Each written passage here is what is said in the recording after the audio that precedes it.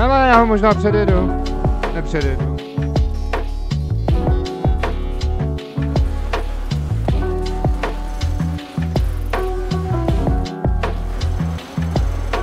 Kam jedeš?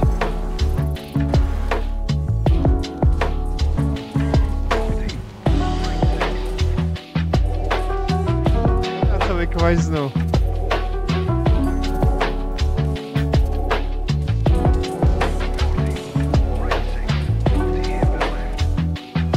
Si příště vezmu kočárek normálně s motorem a bude.